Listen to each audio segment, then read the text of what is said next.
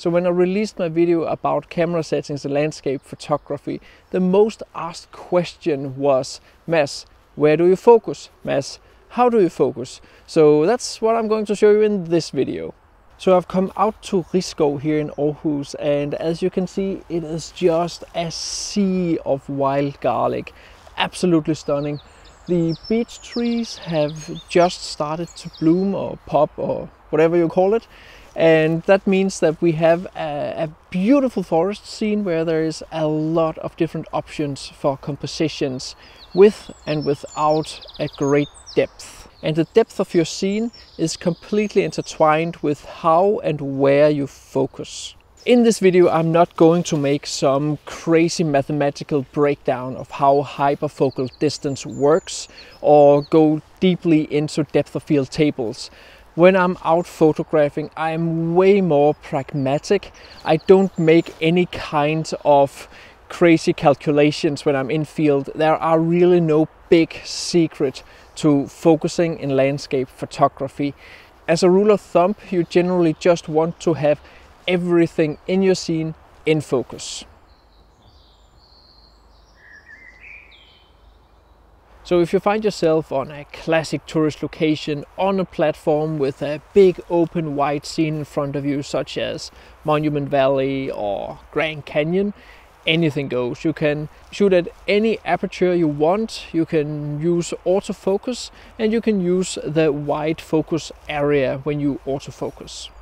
It might be a little controversial, but usually when I'm out and about I use autofocus but that's because I have this camera. I have a very specific technique I can use with this camera. If I go into my focus area, you can see here, I have a few different selections. I generally tend to use this flexible spot manual setting. In that way, you can see I have this uh, tiny square right here, and that is my focus area. I decide where I want to focus with that.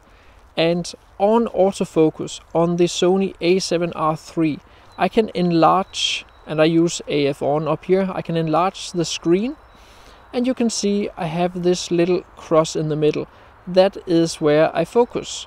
So I can simply just hold down my shutter bottom and focus and in that way I get a very very very precise focus on whatever it is I want to focus on. With this focus function and this camera, you can also just use the touchscreen to press wherever you want to focus. But I'm not always 100% certain that it catches focus where I want it to focus. I need to enlarge it to be 100% sure. Sometimes I also use manual focus. And as you can see here on my display, I actually have what's called focus peaking. But I also have a function enabled so when I turn my focus ring, you can see how it goes in and out of focus. It enlarges the screen automatically. I can enlarge it further and in this way I can also just set focus wherever I want it and about here on this tree it looks fine. And this is also a classic way for me to focus. So these are the two ways I prefer to focus with my camera. It depends on the scene and there are of course other ways to focus but generally I tend to stick to these two different ways. This is also how I usually focus at night. Manual focus, enlarge the screen on a star or a distant light and just turn my focus ring until the star or the distant light is as small as possible and then you know you have caught focus during night. If I have a scene with a subject that I'm shooting, I'm usually focusing on that subject unless it is specifically in the background. It depends a little on the scene and it depends on the amount of depth in the scene. If I have a scene with an undefined subject, then I usually use a few different ways. I either focus to infinity or I focus one third into the scene. So at one point in my photography career, I did a whole lot of portrait photography and headshot photography and getting a lot of background blur, so-called bokeh, was all the rage. And there's three factors that determine how much background blur or how much you can throw the background out of focus.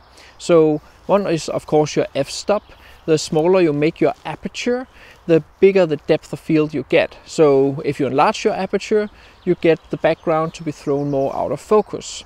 So generally in landscape photography, we want to have the entire scene in focus, which means that we will need a small aperture.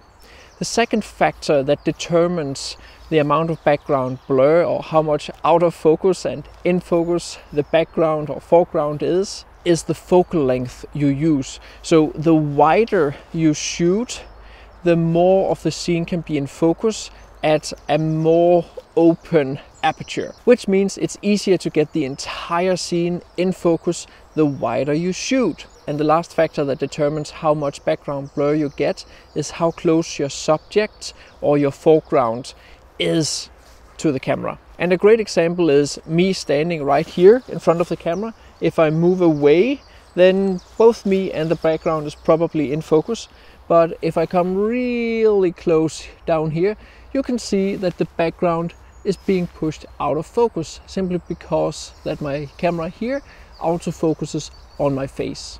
And it's when you have a good understanding of the combination of those three factors that you can more or less get everything in focus. So in this first example, I'm photographing at 24 millimeter. I'm just shooting this scene here with the small trail going in. And right now I'm just focusing on the background. It's very, very simple. And I have to shoot from f11 and above to get everything in focus from the background to the foreground. If I decrease my aperture to f8 or all the way down to f5, the front garlic here will be out of focus. As a rule of thumb in landscape photography, we usually say that you want to shoot between f8 and f11 because that's where most lenses are the most sharp. But in my experience, of course, depending on the lens and your camera system, you can easily increase to f16 without introducing too much diffraction. If you go all the way to f16, there is absolutely no problem in getting everything in the scene within focus when you're shooting as wide as 24 millimeter. This scene is in itself not in any way what you would call an extreme depth of field scene because there's probably around a meter, 1.2 meters to the foreground from my camera up here. So the relative depth of field in the scene is not big at all.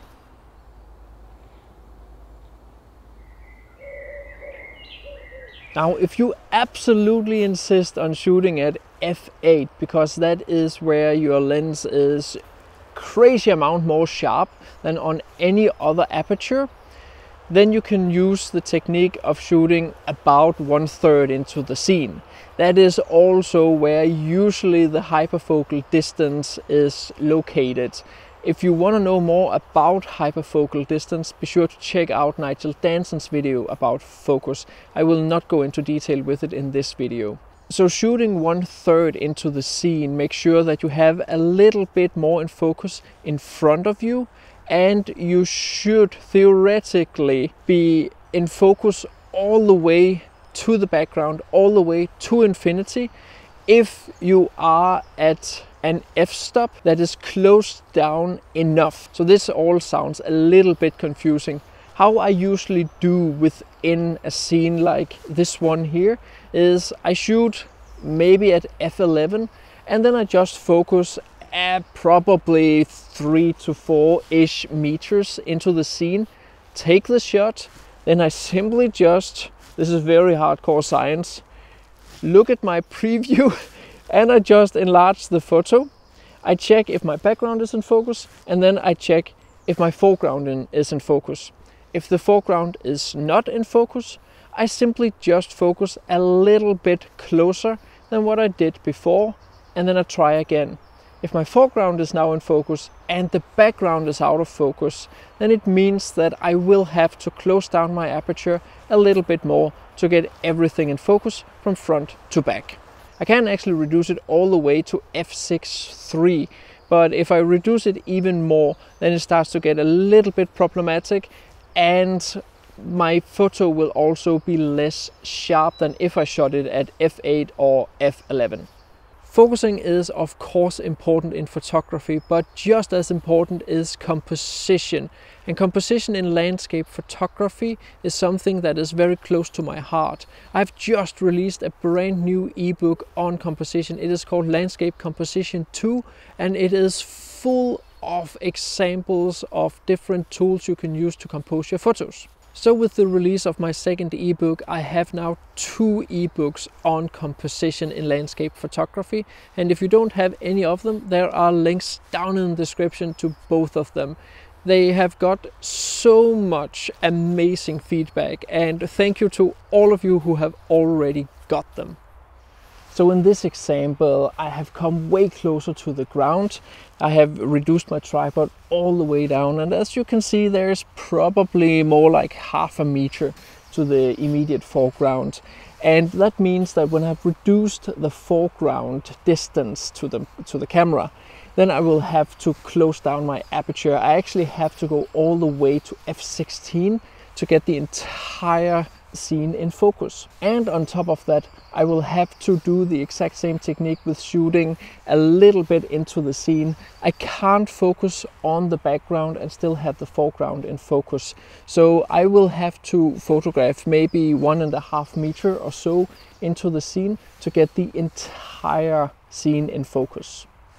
And just as before when I have taken my shot, I simply just go to the preview, I enlarge it by 10 and I just check is it in focus in the background? Yes it is. Is it in focus in the foreground?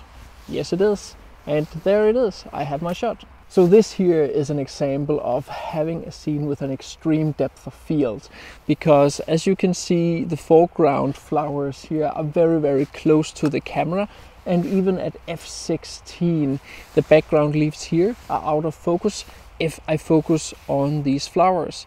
If I focus just a little bit further into the scene, the flowers will be out of focus. So in this particular case, even though I stopped all the way down to f22, it wouldn't really give a, a, result which I would like. Sometimes you have to stop down to f22, but even so, the background is completely out of focus. So I would go to something like f16, maybe f14, depending on what lens you're using. I would use f16 and then I would simply just focus stack the image.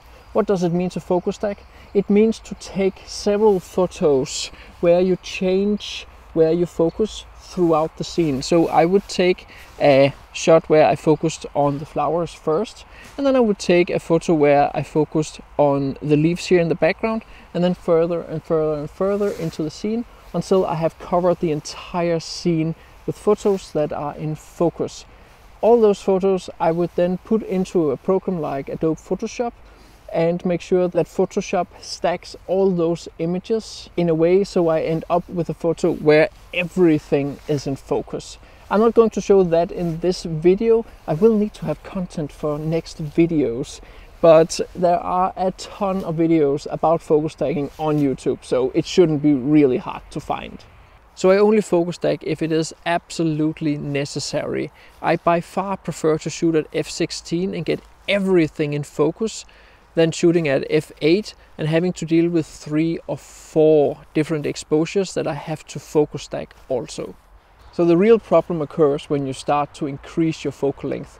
In this scene here, I've zoomed into all these trails here in the middle and even though I'm only at around 70, 75, 80 millimeter, I actually have to make a focus stack even though I'm at f16. So it's quite simple. I just make the first shot for the foreground garlic here and then I make one a little bit further into the scene and then I make one for the background. But I actually do have to make three to get the entire scene in focus. So just as before, how I go about it is simply just to make sure that I use flexible spot manual and then I simply just enlarge the photo, use the little joypad to decide where I want to focus. Then I just focus, hold down the shutter button by half and then I just take the shot, two second timer, takes the shot. I do the same one more time just a bit further into the scene where it starts getting out of focus. One more time. There we go. And one last time for the background. There we go. And in this way, when I look at the preview, let's go to the first one. I can see that the first one is in focus. And I go to the next one. This one, perfectly in focus, all the way almost to the background. And the last one, where the background is completely in focus. So in the end, focusing comes down to what scene you're photographing and how that scene looks and the amount of depth there is in that scene. All you have to remember is that the relative depth of field increases when you get closer to your subject or your foreground and the longer a focal length you use and you compensate for that by closing down your aperture when you cannot close down your aperture enough to get everything in focus that you want to have in focus, you need to start focus stacking. And even though you, as a rule of thumb, want to have the entire scene in focus, there are definitely occasions where you do want to have some blur either in the foreground or in the background. So I hope you learned a lot from this video. If you haven't seen my video on camera settings, be sure to check that one too. And if you want to learn more about composition, be sure to get my ebooks. You can get the free light versions also down in the description. So thank you so much for watching and as always I would highly appreciate both a like and a comment.